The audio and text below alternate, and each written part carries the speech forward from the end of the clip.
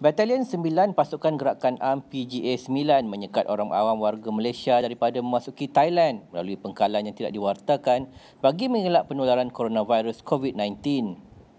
Pegawai Gerakan PGA 9 Kubang Badak, Kuala Terengganu, Asisten Superintenden Muhammad Azli Ismail berkata, sekatan itu dijalankan melalui Ops Mundok membabitkan tiga lokasi iaitu Pengkalan Poknik, Pohon Stol dan Jitong di Rantau Panjang.